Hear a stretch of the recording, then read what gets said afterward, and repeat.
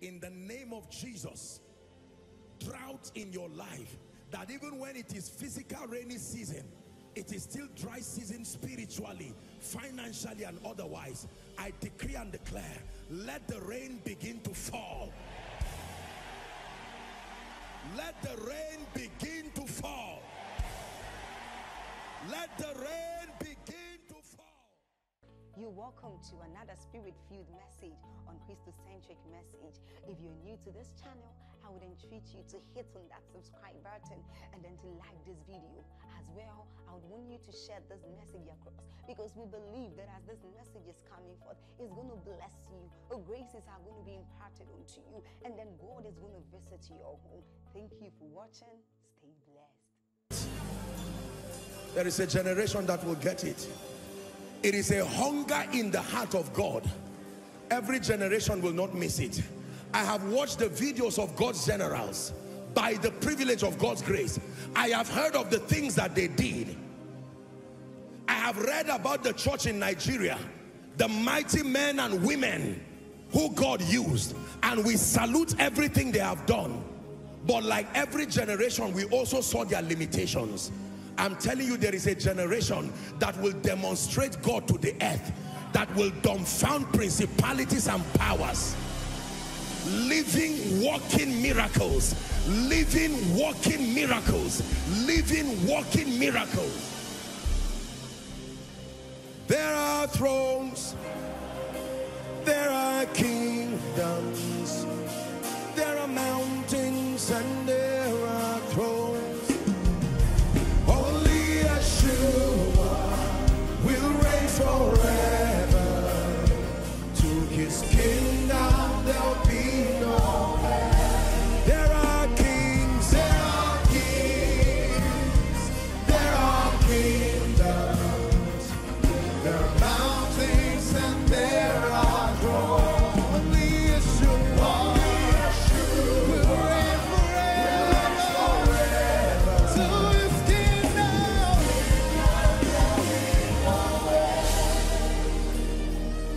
Watch this.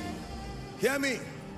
There are many of you beyond level one.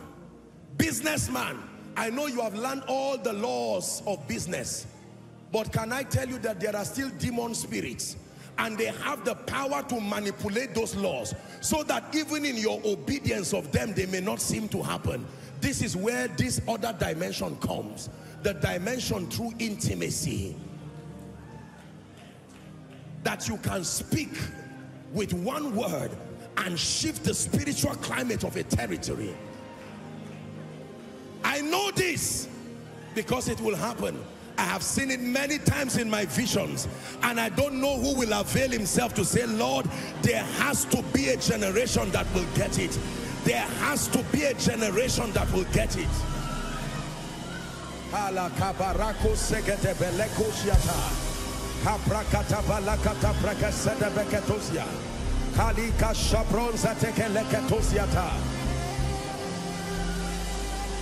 Hallelujah. Watch this. Here's what Jesus said. Verily, verily, I say unto you, he that believeth on me, the works that I do, is that in your Bible? It says, shall he also do. Then it says, greater works. Hear me. Now, respectfully speaking, I salute all of us together for what we are doing. But when you hear me tell you that we are still the version of spirituality we are in now is the version of typewriter technologically there are still levels to enter it's because of our slow place that is garnished by a lot of pride and arrival mentality thank God for the little we have seen. But believe me I'm not just trying to be humble. I am telling you there are realms that we have not stepped into. Where we access the powers of the age to come. Men who become like God upon the earth. Hallelujah. When was the last time that you saw a flood about to wash a nation and you stood and said flood thus far have you come. No further shall you go listen We have so recycled the little results that we have that we have built a camp of mediocrity around it. No. Tonight's message is not for the nominal Christian who is satisfied with falling down and standing up. Tonight's message is not for the nominal Christian who just wants to give one prophecy, one word of knowledge. Tonight's message is not for someone who just wants to give Greek and Hebrew. We are talking of men who become living wonders, conduits of kingdom possibilities.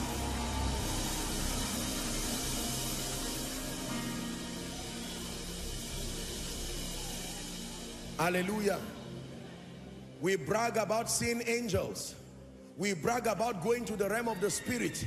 We brag about meeting demons. We brag about meeting Jesus. But we cannot see the power that is connected to that intimacy. Because every time people met Jesus in the Bible, they came back with something they could prove. Now, I'm, I don't, I'm not trying to mock or be sarcastic, but I have read books of people who supposedly claim that they met Jesus every day for a long time the Jesus you read in this Bible, find out those who met him for three and a half years. Look at what he left with them. They turned the world upside down. Whoever met Jesus and went back the same. Tell me one person who met Jesus. And yet we say we have met him. Yet we claim like we are drinking tea every day with him. And after all of that, the corresponding manifestation of power I have read my Bible. When Paul met him, look what happened to Paul. Paul, a, a, hunger was in him that at the zenith of his apostolic ministry, all he could say that I may know him. Let me meet him one more time. Let him do something to me. How about Peter? How about John? The madman at Gadara, he didn't have a vision of him every day. He met him once and became an evangelist. Can I tell you, we must re-examine the Jesus we have been seeing. Because I'm not trying to be sarcastic. Let me tell you the truth, I have read my Bible. Let God be true and all men liars. I have met Jesus and I know what happened to me. When you meet Jesus, there must be proof that you met him. The glory that emanates from your life, find out what happened when Moses met him for 90 days. Moses did not even know his face was shining. Is when he came down, men said, what is this? They said, what does it, what kind of glow does it take to use a veil in the afternoon? Ladies and gentlemen, this revival thing we keep talking about, bah, we're only going to waste our time if we don't mean business. A genuine encounter with the God of the Bible a genuine encounter with the Holy Spirit must leave a, a provable deposit of God within you that you can take back as a gift. Listen, we're ordinary men. There are times that some of these my lovely children come to me and I'm tempted to give them gifts. Sometimes I can bring out 10 naira. This is me, a man. Yet I know the value of seeing how I can respond to them. How much more the God of heaven. And he sat with you and spoke with you Joshua Selman, you saw him. Is it true? Where is the proof? And you have the effrontery to say light left him and came to you. Where is the light? Swallow your pride. Tonight, come to the school of the Spirit. Don't you know in his hands are the keys to eternal life? It's a little here, a little there, then your day will dawn. He's at work in you, changing everything.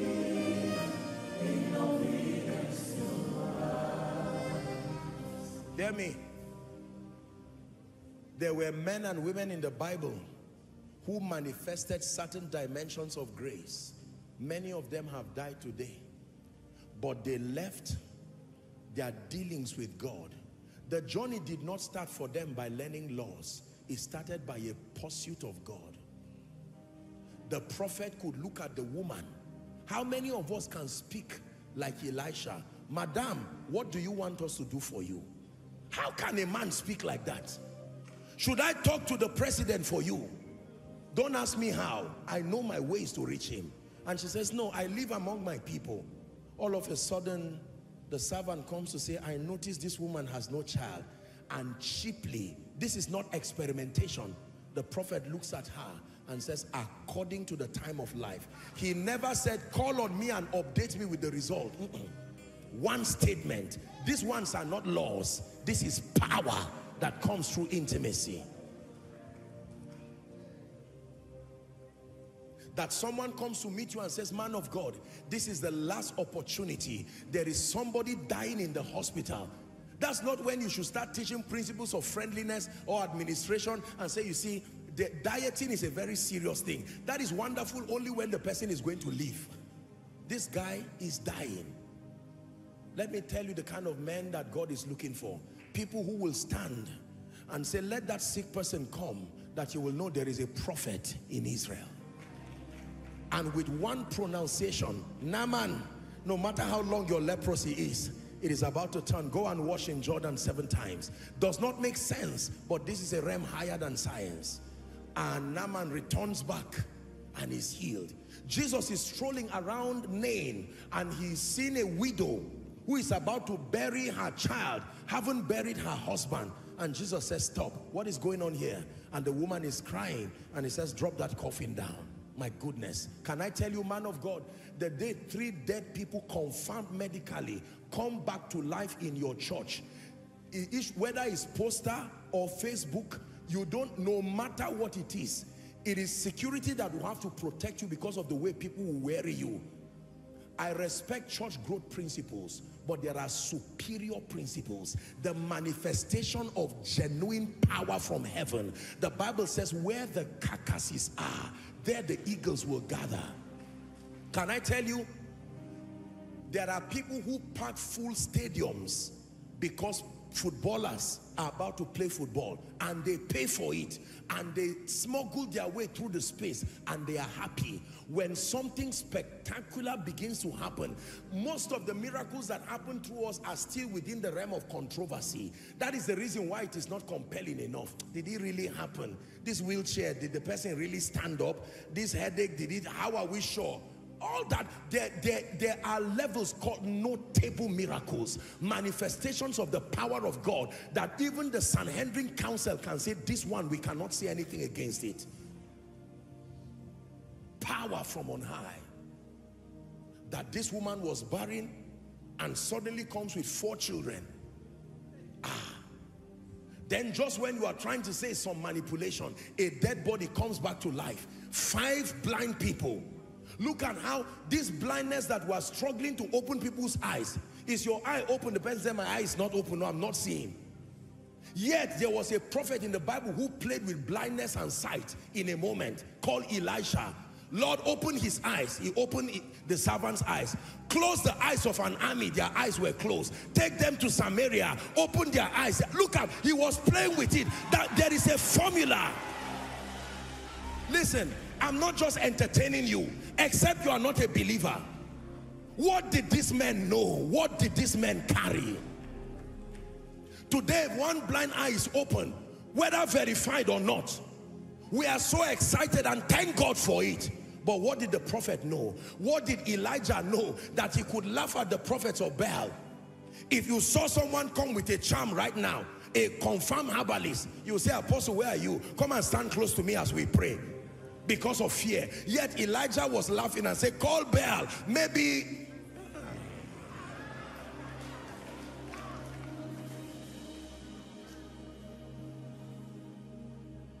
There was a time business was failing. They could not catch any fish. Watch Jesus. If I were the one, I would now start teaching principles of fishing. And there is a place for that. I taught you.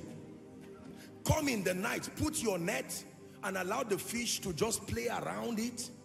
Are we together? Bait them with feed and then you come and drag it and you catch fish. That is the principle of fishing. But watch what Jesus does. He says, little children, have you any catch? And Peter says, we've been struggling. What do you mean by have you any catch? He said, cast your net to the right side. Game over. cast your nets to the right side. It does not matter whether, whether the fish what if that grace can come on you as a man of God to speak over your business people? Do you know what can happen to them? You are not endorsing laziness, but that this guy is in debt already.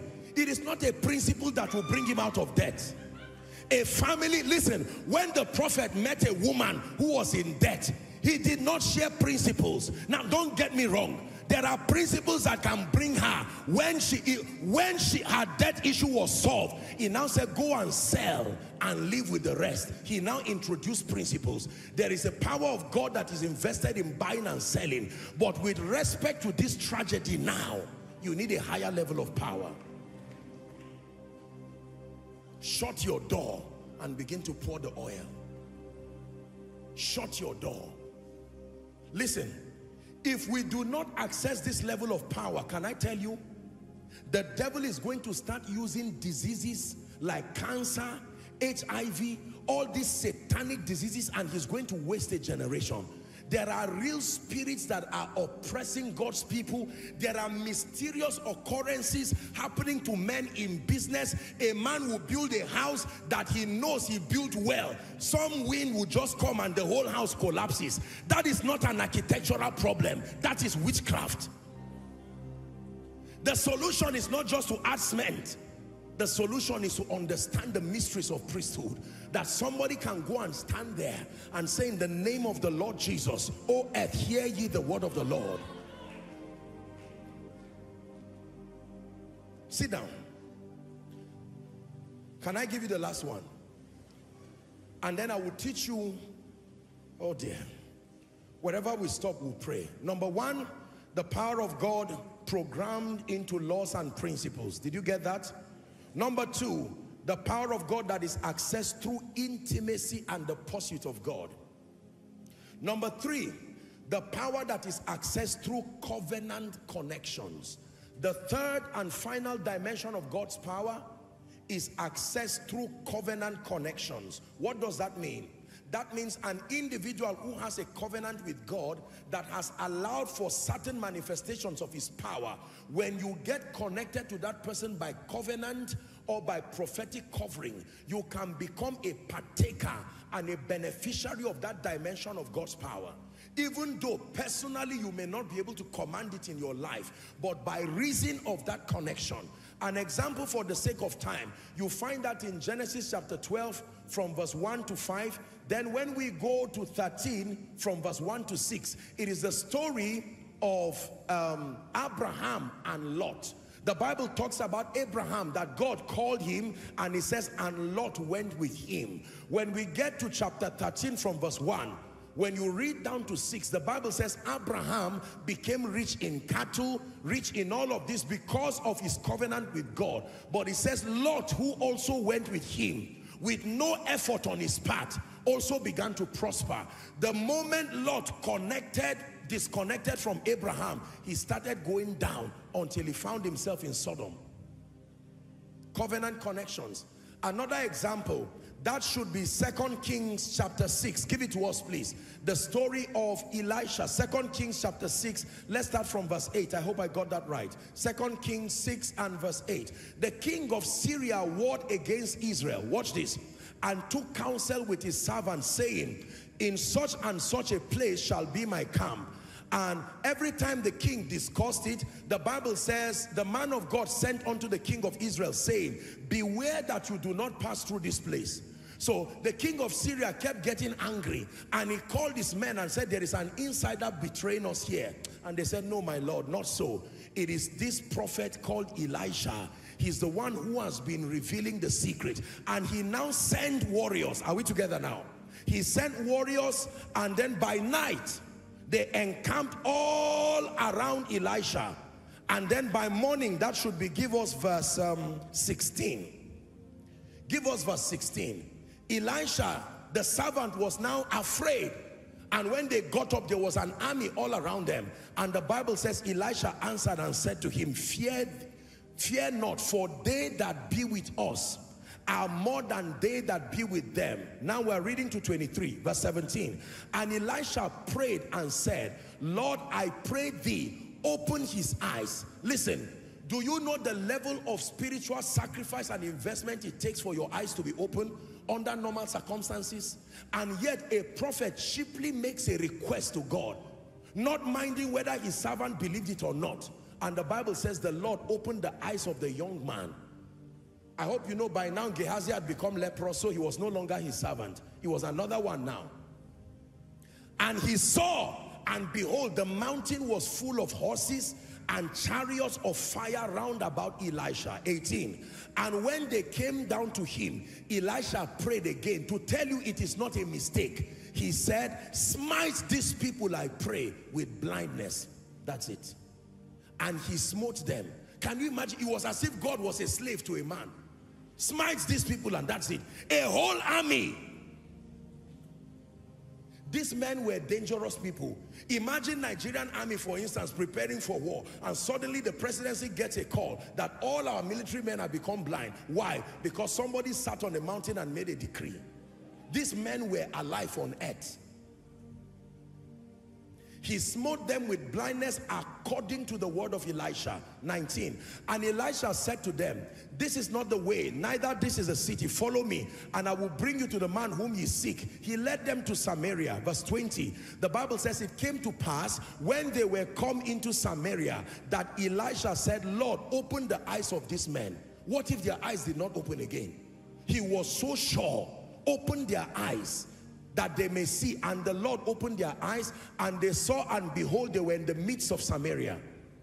And the king of Israel said unto Elisha when he saw them, My father, shall I smite them? Shall I smite them? 22. And he answered, Thou shalt not smite them.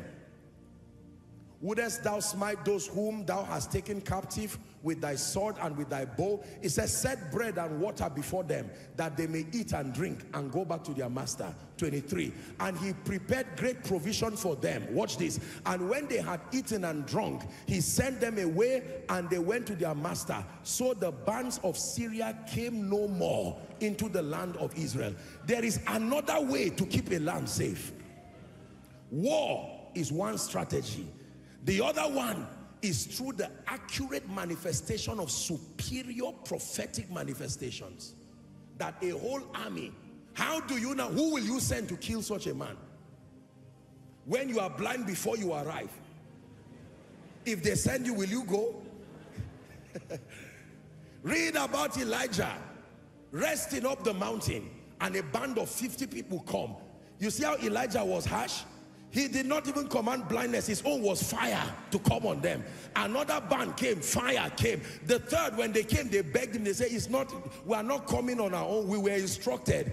Please come down, follow us. They called him the troublemaker of Israel. This was Jezebel's Old testament, testimony. There are men who will turn this world upside down.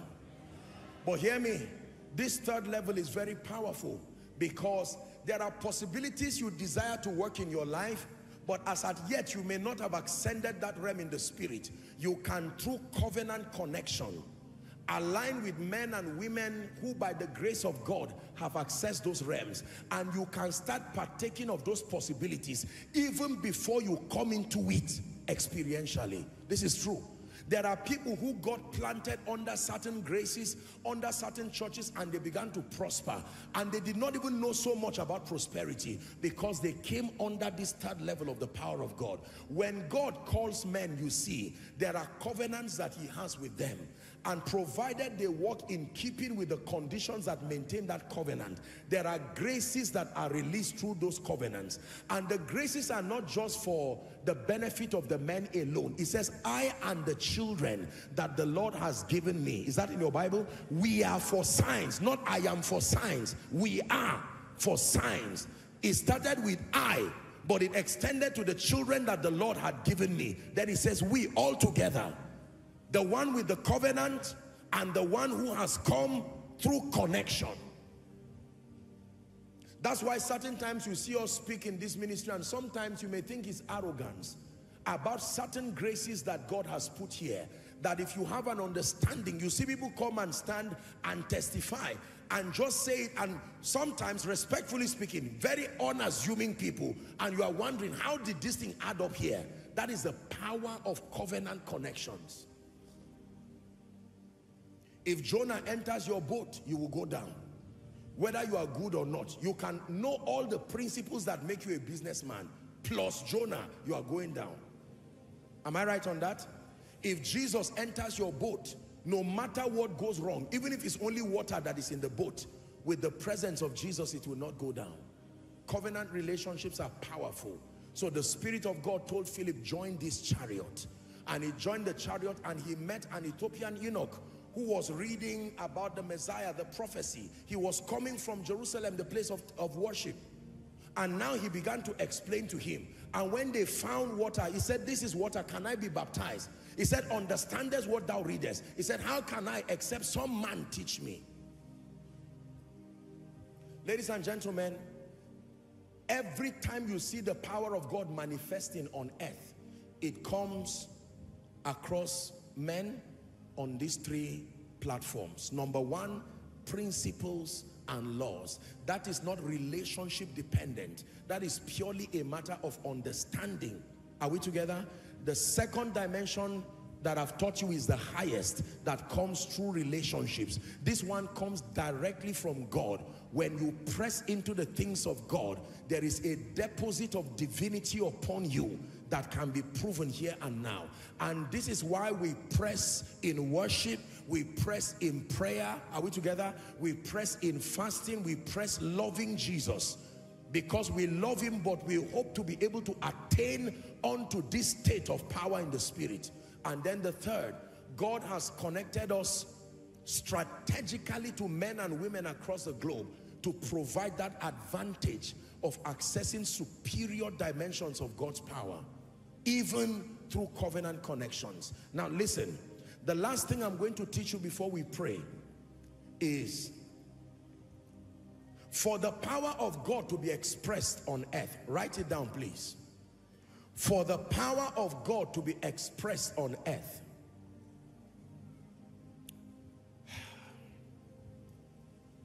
One of these five elements must be used for the power of God to be expressed on earth that means the power of God can never be expressed and seen in the world of men until his power is in partnership with one or more of these five elements. Put a colon and let me list the elements for you.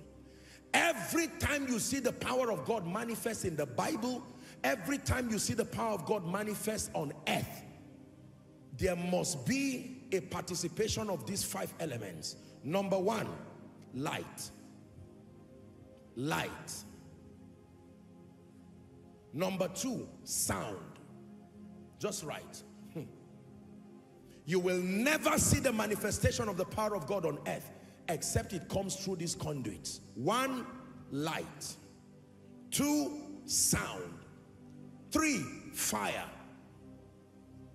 Four, earth. E-A-R-T-H. Five, water.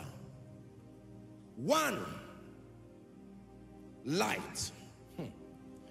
Two, sound. Three, fire. Four, earth. Five, water. Please look up. These are mysterious elements that God planted in our world. You will never see the manifestation of God's power until it comes through one or more of these elements. Are we together? This is very important. Now watch this. God himself calls the word light. And speaking about light in John 1 5, he says, The light shineth in darkness, and the darkness comprehended it not. Watch this. The entire creation from a biological standpoint today survives on light. Am I right on that? In this case, the light of the sun. In biology, we study about the light and dark reaction. Remember? the process by which plants convert sunlight to chlorophyll. Remember you were taught in basic biology. Yes. Light. We draw sunlight and men on earth will die because there will no longer be plants There will no longer be food. And it's mysterious that this light you see is older than everybody on earth, yet it does not diminish in glory. The light of the sun remains fixed, never to diminish. Your cloth will diminish. Even your own face will diminish under normal circumstances. But this sun has remained constant. This light you see is a mystery. Till today, science cannot define light. They can only describe it using numerical figures. Light is a mystery. It was outsourced from the realm of the spirit. Are we together now? The first thing God released upon the earth was light. Let there be light. Let there be element number one. Number two, sound. Sound. It is because of the presence of sound that words can move and can be heard. Am I right on that? Is that true? As powerful as words are, they are only as powerful as the sound that conveys them. This is very important. When you read Ezekiel chapter 47 for sake of time, you will see there, Ezekiel said, I prophesied as I was commanded and there was a sound. You see sound playing a role there. In Acts chapter 2 and verse 1, now when the day of Pentecost was fully come, the Bible says they were all gathered in one place. The first thing that happened is suddenly there came a sound. Sound. The supernatural will never find expression until there is the element of sound. Hmm. It's amazing that people can come here sick. People can come here oppressed. And all those spirits are hearing and all the conditions are quiet until sound comes. In the name of Jesus Christ. The man who was seated at gate beautiful, his miracle was sound dependent. He was there for many years. But here comes an apostle of the Lord Jesus Christ. Silver and gold I do not have, but such as I have, give I unto you in the name of Jesus of Nazareth. Rise up and work. That sound, the Bible says he lifted the man and he leaping stood. You have that down? Number three, fire. Hmm. The power of God manifests itself through the element and the conduit of fire. I wish I had time. I'm so sorry I'm compressing this. This thing that I've taught you can become a one month lecture back to back every day. I can break every one of these facets, but this is just to give us a general appreciation of power. Fire. Remember in Exodus chapter 3, that was the element that God used to draw the attention of Moses. A bush that was burning and yet would not be consumed. Is that in your Bible? Moses, fire the element of fire. Fire till today is still a very mysterious, we give it all kinds of definitions. Can you imagine? Set fire in this place. You can't hold it. You can't box it. It will burn everything in front of it. Fire does not fear. Fire does not run away. You can't put it in your pocket. What kind of element is that? It is so light, you can set it anywhere.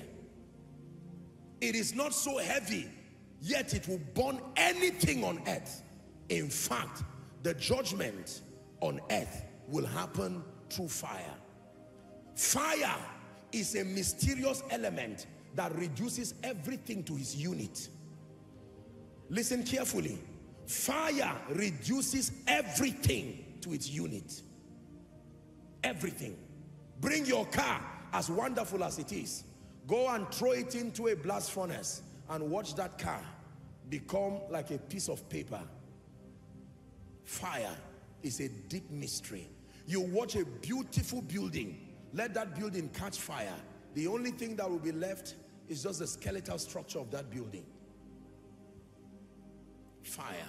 On the day of Pentecost, after the sound, the next thing that came was fire. Fire. It came and sat on their head. And Jesus said there are two kinds of baptisms that will happen to you. He will baptize you with the Holy Ghost. You know, as I just mentioned fire, I just saw like just fire just He will baptize you with the Holy Ghost and with fire. He will baptize you with the Holy Ghost. The baptism of fire is a different kind of baptism on its own. Like fire in your bones. Listen, the supernatural only finds expression when it wants to find, especially when God is revealing himself as a warrior and one who is coming in judgment. His power is, it comes through that conduit of fire. Number four, for sake of time. Earth. Hmm. This one is a very mysterious element, the earth. Look at me. Number one, the earth is a universal point of contact. That means everybody on earth, what joins a point of contact means that I can guarantee that everybody is standing upon the earth. The earth is a universal point of contact. Number two, this earth you see, all of the food that man eats to live comes from the earth. This is a very deep mystery. When men die, we do not throw them in the air to float. We bury them in the earth. And after many years, if you go back there, all you will find is skeleton and sand. Not skeleton and liver. Not skeleton and ice. Every other thing that is not bones is reduced to dust. It says, for from dust thou art, and to dust thou shalt return. Do you know the meaning of that? We depend on the earth literally for our survival because the plants, the trees that feed us come from the earth. Are we together now? Yes. So the prophet will say, O earth, hear ye the word of the Lord. Hear ye the word of the Lord. There is something in the Bible called famine that at times of famine, even the earth does not produce. Are we together? The earth, something happens to the earth. Something is spoken to the earth that stops it from producing. And everybody starts suffering. The Bible says, even because the earth failed, money failed. And men came in Egypt and said, buy us. This earth, you see, is a mysterious substance. The oil that has caused war across nations, the earth. Agriculture that feeds nations, the earth. Real estate that looks like the ultimate store of value, the earth. Real estate is not the sky. Real estate is the earth. Imagine how expensive a piece of earth is.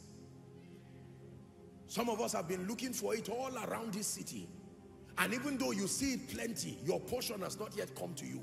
Because there is a mystery that brings you to your portion of the earth. Do you believe what I'm telling you? When you move to America, respectfully, or you move to um, UK, or you move to France, you are simply moving from one part of the earth to another. You are still in the earth. Is that true? There are possibilities that are locked up within the earth. And this is where, because of the awareness of what I have told you, there are people who have erroneously moving out of the way the Holy Spirit teach, they've started manipulating things within the earth, you see, because they know that there is a dimension of God's power invested in the earth and that the earth is one of the conduits for the supernatural. Jesus himself, in trying to open the eyes of a blind man, he spat on the ground. Is that true? And he mixed it with clay and put it in his eyes and said, go and wash at a pool called Siloam. Why would Jesus do that? The prophets were eating the food that came from the earth. And they said, ah, there is death in the pot. It came from the earth. Agriculture, we have all kinds of soils. In fact, the Bible even calls us earthen vessels. Earthen vessels. That the best of us, no matter how well decorated, is an earthen vessel. Dearly beloved, I hope you were blessed by this message. Do not keep the video to yourself. Share to as many as you can to help them bless. Check our homepage for more of our messages. Subscribe to the channel, comment on it, like it. See you on our next video. Bye.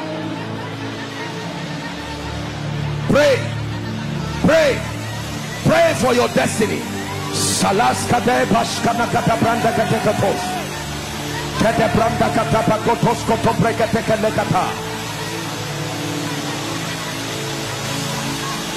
The phase of development. Lord, grant me the discipline